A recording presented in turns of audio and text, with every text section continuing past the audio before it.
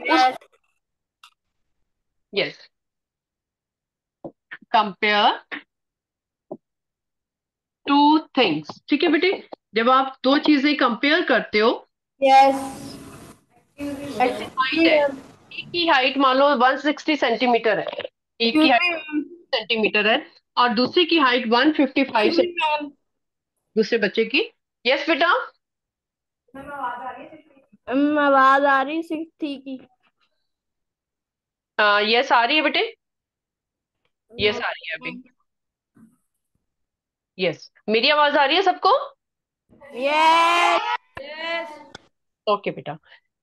ठीक है। तो जब हम कंपेयर करते हैं टू क्वांटिटीज को तो हम कैसे बोलते कैसे हैं? सपोज़ एक बच्चा है उसकी हाइट है 160 सेंटीमीटर दूसरे की हाइट है 155 सेंटीमीटर तो हम बोलेंगे कि एक की हाइट जो है वो दूसरे से 5 सेंटीमीटर कम है। ये बोलेंगे ना कि हाइट ऑफ़ अभी लिखना कुछ नहीं है, मैं बताऊँगी आपको जब लिखना है तो। Height of one person is equal to five centimetre less than other ठीक है बेटे? आपको दिख रहा है कि फाइव सेंटीमीटर का डिफरेंस है, एक के पास 160 है और एक के पास 155 है। अगर इसको सब्ट्रैक्ट करेंगे तो 160 माइनस 155 कितना होगा? फाइव तो फाइव का डिफरेंस है दोनों का। करते हो ना ऐसे? ठीक है? ऐसे ही आपके सपोज़ ग्लास में मिल्क डाला हुआ है आपने। ठीक है? एक में कम मिल्क है और एक में ज़्यादा मिल्क है। ठीक है? ग्लास में एक में ज़्यादा मिल्क है और दूसरे में आपके पास तो कंपेयर करते हो आप? सपोज़ इसमें आपके पास टू लीटर्स मिल्क है और इसमें आपके पास वन लीटर है। ठीक है? तो आप कंपेयर करोगे ना कि दोनों का कितना डिफरेंस आएगा। सपोज़ ये मेरे पास फ़र्स्ट ग्लास है, ये फ़र्स्ट है, ये सेकंड है। ठीक है? तो फ़र्स्ट ग्लास में मेरे पास कितना मिल्क होगा? मैं बोल सकती हूँ इसको कि milk in this first glass is twice of that of second glass twice बोल सकती हूँ मैं इसको? यस यस ट्वाइस का मतलब दो गुना ज़्यादा है। ठीक है बेटे? ऐसे ही अगर हमारे पास आ, जैसे आपके मार्क्स आते हैं आउट ऑफ़ हंड्रेड किसी के फिफ्टी आउट ऑफ़ हंड्रेड आए किसी के सिक्सटी आउट ऑफ़ हंड्रेड आए सेवेंटी आउट ऑफ़ हंड्रेड आए तो जितने भी आपके मार्क्स आते हैं उनको भी तो कंपेयर करते हो ना? कि तेरे से टेन कम है या फिर फाइव ज़्यादा है या फिर फिफ्टीन ज़्यादा है कंपेयर करते हो। ओके सो so, उसको हम कैसे करेंगे? Suppose one child got suppose मैं टू बॉयज़ की बात कर रही हूँ आपके पास अच्छा चलो इसके पहले पहले मैं आपको ये बताना चाहती हूँ कि अगर आपके पास नंबर ऑफ़ चॉकलेट्स है चॉकलेट्स है। ठीक है? चॉकलेट्स अगर अगर पास ट्वेंटी चॉकलेट और और दूसरे के पास thirty five thirty five chocolates है। ठीक है? तो कितना डिफरेंस है दोनों का? फिफ्टीन फिफ्टीन का। फिफ्टीन चॉकलेट्स का डिफरेंस है। तो यू कैन से कि chocolate with A are fifteen less than chocolates with B ठीक है? तो कितने तरह का आपका कंपैरिजन हो जाता है? हाइट का कंपैरिजन हो गया जिसमें आप सेंटीमीटर की बात कर रहे थे नंबर ऑफ़ चॉकलेट्स की बात हो गई फिर आपने मिल्क की बात की तो इससे आपको क्या पता चल रहा है? कि हम सेम ही काइंड ऑफ़ ऑब्जेक्ट्स जो होते हैं उनको कंपेयर करते हैं। ऐसा नहीं हो सकता कि मैं मिल्क को शुगर से कंपेयर कर दूँ। शुगर एक सॉलिड चीज़ है ठीक है? शुगर की जो स्पेस होएगी वो कंटेनर में डिफरेंट टाइप की होएगी। जो मिल्क की होएगी वो डिफरेंट होगी क्योंकि वो लिक्विड है। ओके okay, आपको एक चीज़ का ध्यान देना है रेशियो एंड प्रोपोर्शन के चैप्टर में कि जब हम कंपैरिजन करेंगे कि दो सेम काइंड ऑफ़ थिंग्स का करेंगे सेम काइंड ऑफ़ थिंग्स होने चाहिए कि ये नहीं कि हम, मैं करूँ कि इसका वेट जो है, एक बच्चे का वेट जो है, वो 50 केजी है और दूसरे की हाइट जो है, वो 160 सेंटीमीटर है तो मैं उन दोनों को कंपेयर करूँ यहाँ पे हाइट की बात हो रही है और वहाँ पे वेट की बात हो रही है। तो ऐसे में कंपेयर नहीं करूँगी। रेशो प्रोपोर्शन के चैप्टर में आपकी सेम ही चीज़ जो है, वो कंपेयर होनी चाहिए। ये चीज़ का आपने ध्यान देना है। कोई एग्ज़ाम्पल देगा मेरे को कोई और? कि जब हम रेशो की बात करते हैं तो हम टू सेम चीज़ों की बात करते हैं सेम चीज़ों का कंपैरिजन करते हैं। मैंने चॉकलेट का एग्जांपल दिया मिल्क का एग्जांपल दिया आपको हाइट का हाँ। एग्जांपल दिया। कोई और कोई एग्जांपल दे सकते हो? किन दो चीज़ों को हम कंपेयर कर सकते हैं रेशो में अगर हमने रेशो के बारे में पढ़ना हो तो? मार्क्स आते हैं आपके आउट ऑफ़ हंड्रेड ठीक है? उसको भी कंपेयर कर सकते हैं। मैथ्स में कितने मार्क्स आए हैं साइंस में कितने मार्क्स आए हैं। कर सकते हो ना? Okay okay. आप में से कोई एग्ज़ाम्पल देगा मेरे को आगे आगे?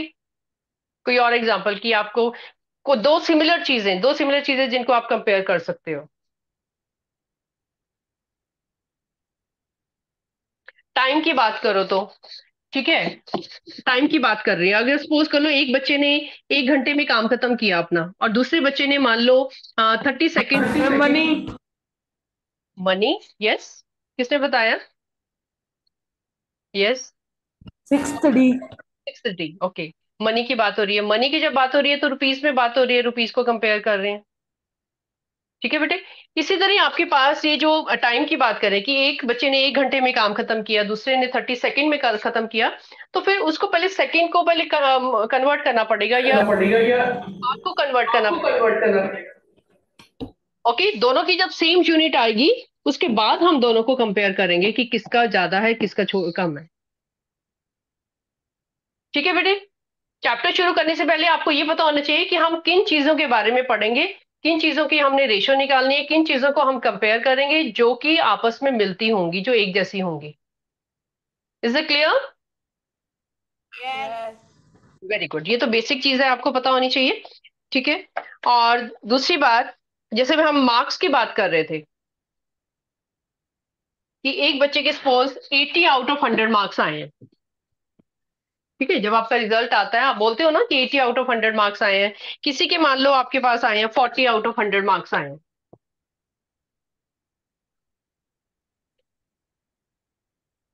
ठीक है? One boy is there suppose कर लो one boy is there Rahim जिसकी 80 आउट ऑफ़ इसको भी लिखने की ज़रूरत नहीं है, हमें जस्ट हम डिस्कस कर रहे हैं कि होता क्या क्या है। पहले इसकी बैकग्राउंड समझ लो। Okay there is a boy Rahim जिसके आपके पास आए हैं मार्क्स 80 आउट ऑफ़ 100 और दूसरे के मार्क्स आए हैं हरी के 40 आउट ऑफ़ 100 ठीक है? मेरे को जब दोनों को कंपेयर करना है कि किसके कितने मार्क्स आए हैं तो आपको देखने में तो पता चल ही रहा है। तो मैं इसमें अगर लॉजिकली देखो इसको मैं तो मैं हरी हरी। रहीम डिवाइडेड बाय हरी इसको हम डिवाइड करके ये चेक करेंगे कि किसकी कितनी कौन किससे कितना बड़ा है। एटी रेशो 40 बेटा आपने फ्रैक्शन तो पढ़ा ही हुआ है ना? ठीक है आपको फ्रैक्शन में मैं ये करवाने से पहले मैं आपको ये बताना चाहती हूँ कि जैसे आपके पास ये फ्रैक्शन है उस फ्रैक्शन में आप ऐसे ही करते थे ना? याद है कि एक चीज़ आपके पास वो होती थी? आ, इसको दिख रहा है सबको? ओके आपको ये दिख रहा है कि इसमें एक पार्ट शेडेड है और एक पार्ट विदाउट शेडेड है। और जो मेरे पास पेपर है इसके कितने पार्ट्स हो रहे हैं टोटल टू हैं सबको क्लियरली दिख रहे हैं टू पार्ट्स हो रहे हैं। ठीक है तो इसमें शेडेड पार्ट कौन सा है हमारे पास? कितना है? उसको हम कैसे लिखेंगे? वन बाय टू ठीक है टोटल आपके पास टू पार्ट्स हैं। ठीक है उनमें से एक पार्ट शेडेड है तो मैं उसको बोलूँगी one by two is shaded okay ये वाला पार्ट आपका शेडेड है। सिमिलरली अगर आपके पास किसी के मैंने फोर पार्ट्स कर दिए। Four by two two by four two by four two by four yes तो आपकी इसके टू पार्ट शेडेड है। हर एक पार्ट कितना होगा? One by four one by four one by four one by four ऐसे ही होता है ना? One by four one by four one by four चारों पार्ट में से आपके जो दो पार्ट है वो आपके शेडेड है। तो आप लिखोगे टू बाय फोर ठीक है? तो ये जो आप डिवाइड करके चीज़ लिखते हैं one by four two by four ये भी रेशो होती है। अगर इसको मैं रेशो फॉर्म में लिखूं वन बाय टू को तो मैं लिखूँगी वन रेशो टू रेशो का जो साइन होता है, वो आपको क्या रिप्रेजेंट करता है? टू डॉट्स ठीक है? फिर आपने बताया कि इसको बोल क्या रहे हो आप?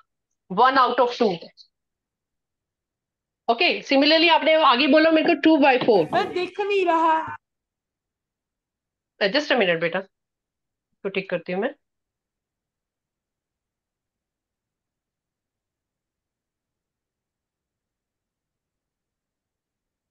आपको मैंने जूम करके वो दिखाया था ना, बेटा? Just a minute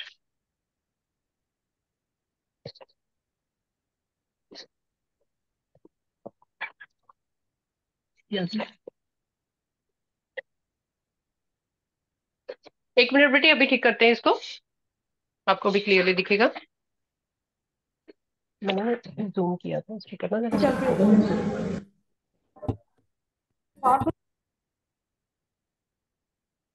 अभी ठीक है बेटी बोर्ड दिख रहा है आपको? ओके ठीक है। तो हम क्या बात कर रहे थे कि आपने मेरे को बताया two out of four are shaded जब मैंने आपको फोर वाला शेडेड दिखाए थे फोर पार्ट्स दिखाए थे तो आपने मेरे को बोला था कि two out of four are shaded तो मैं आपसे अगर पूछूँगी कि what is the ratio of shaded and unshaded parts तो आप क्या बोलोगे? टू रेशियो फोर ठीक है इसमें आपने बोला वन रेशियो टू तो अगर मैं आपसे अब अगर मैं आपसे पूछूँगी कि what is the ratio of shaded and unshaded shaded and unshaded तो आप शेडेड वाली वन बता रहे हो और अनशेडेड वाली टू बता रहे हो। जो आपकी टोटल जो थी, ठीक है? टोटल कितनी थी? आपकी टू थी ना? तो आप वन रेशो टू वन जो है वो शेडेड पार्ट का जो रेशो आएगा वो वन आउट ऑफ़ टू आएगा। इज़ इट क्लियर दो पार्ट्स में से एक शेडेड था तो शेडेड पोर्शन हमारे पास कितना आएगा? वन आउट ऑफ़ टू अगर हम उसकी बात करें तो फ्रैक्शन की। ठीक है बेटा? तो इसी तरह ये भी फ्रैक्शन से रिलेटेड है। रेशियो जो आया वो भी फ्रैक्शन से ही आया है। ओके तो मैं आपको एग्जांपल दे रही थी कि अगर मेरे पास रहीम की सपोज़ 80 आउट ऑफ़ 100 मार्क्स है, ठीक है? 80 आउट ऑफ़ 100 और जो हरी है सेकंड बॉय उसके मान लो आपके पास 40 आउट ऑफ़ 100 मार्क्स है। ठीक है? अगर मेरे को कंपेयर करना हो कि रहीम के कितने मार्क्स आए हैं तो मैं क्या हरी से कितने ज़्यादा है या कम है, मेरे को कंपेयर करना हो तो मैं कैसे कंपेयर करूँगी? Rahim by Hari is equal to eighty इसके एटी मार्क्स आए हैं, इसके 40 मार्क्स आए हैं। ठीक है तो मैं करना चाहूँगी कि रहीम हैज़ रहीम के पास कितने मार्क्स हैं? Eighty by 40 of Hari. ये बोलूँगी ना? 80 बाई फोर्टी ऑफ़ हरी। अगर मैं इसको कंपैरिजन के उसमें लिखूं तो मैं इसको काटूँगी और बोलूँगी यहाँ पे टू तो मैं बोलूँगी कि रहीम हैज़ कितने मार्क्स इसके? टू टाइम्स हरीज मार्क्स यही बोलूँगी ना। अगर मेरे को कंपेयर करना हो तो मैं क्या करूँगी? मैंने पहले दोनों को डिवाइड किया, रहीम नीचे मैंने हरी लिखा 80 बाई फोर्टी रहीम के कितने मार्क्स आए हैं? 80 बाई फोर्टी ऑफ़ हरी। आपको पता ही है इसको क्रॉस मल्टीप्लाई करते हैं क्रॉस मल्टीप्लाई सीखा होगा आपने? फ्रैक्शन के चैप्टर में भी सीखा होगा। सीखा था? ओके कई बच्चे इट्स ओके okay. अगर नहीं भी पढ़ा तो इसको सीख लो ये नई चीज़ है आपके लिए ठीक है? तो जब हम करते हैं इसको वी कैसे है कि रहीम को अगर मेरे को देखना है तो मैं बोलूँगी कि उसके टू टाइम्स हरी के मार्क्स है उसके। ओके रहीम के पास 80 मार्क्स थे और उसके पास आए टू टाइम्स हरीज हरी के कितने मार्क्स है 40 तो I can compare the two things by dividing ठीक है जब मैंने उनको डिवाइड कर दिया दोनों को तो मैंने uh, मेरे को पता चल गया कि किसके कितने मार्क्स आए हैं। ठीक है? और अगर मेरे को यहाँ पे हरी के पूछे जाते तो मैं क्या करती? यहाँ पे तो मैंने रहीम के बताए हैं उसके टू टाइम्स ठीक है, अगर मेरे को हरी के पूछे जाते, फिर मैं क्या करती? फिर मैं करती इसको forty divided by eighty of Rahim. ठीक है? फिर मैंने इसको डिवाइड करना था। फिर मैंने कहना था कि one by two one by two of Rahim. ठीक है? आपका इतना ये क्वेश्चन जो है अभी आगे यूज़ होंगे मैं आपको बताऊँगी लेकिन अभी फ़िलहाल ये याद रखो कि जब हम रेशो की बात करते हैं तो हमारे पास डिवीज़न आती है डिवाइड करते हैं हम टू चीज़ों को तो हमारे पास रेशो आती है रेशो आती है ठीक है बेटे ठीक है बेटे तो मैं बोलूँगी ओके इसमें से कुछ अभी इसको नोट नहीं ओके जो करने वाली मैं आपको कैसे लिखना है उसको till here it is fine. चलो fine write down the definition पहले रेशियो की डेफिनेशन लिखेंगे. चैप्टर आपका है ratio and proportion ratio and proportion सबसे पहले इसकी डेफिनेशन लिखो. फ़र्स्ट जो जो चीज़ें इंपॉर्टेंट है रेशियो के बारे में पहले हम वो लिखेंगे. उसके बाद क्वेश्चंस करेंगे। और ये सबने लिखना बेटा। Everybody has to write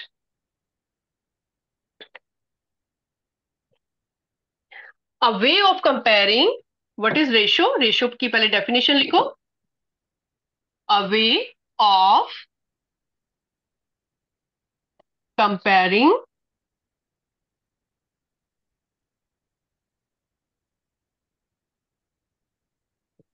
write down in good handwriting ताकि आप बाद में पढ़ भी पाओ।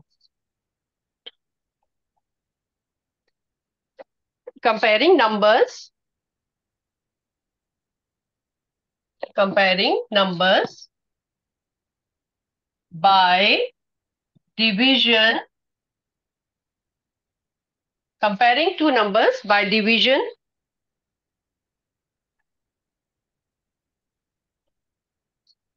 is called ratio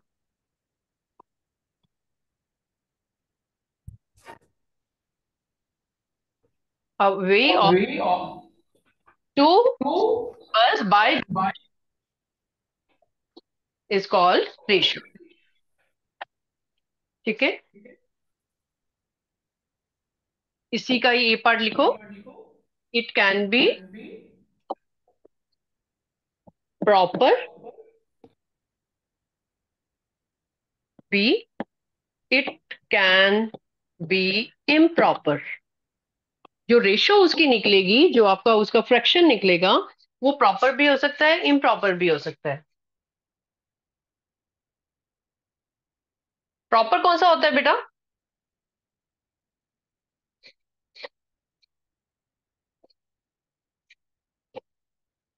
Yes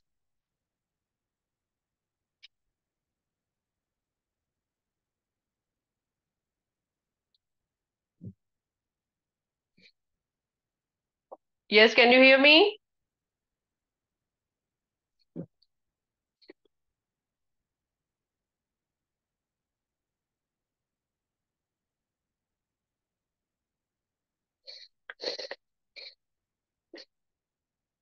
Yes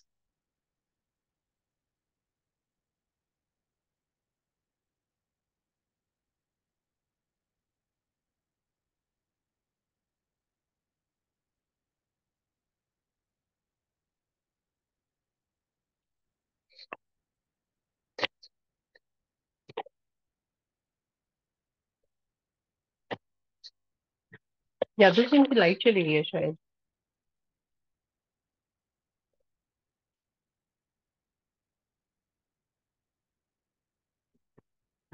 light चली गई है शायद इनके ना स्टिल हो गया था ना?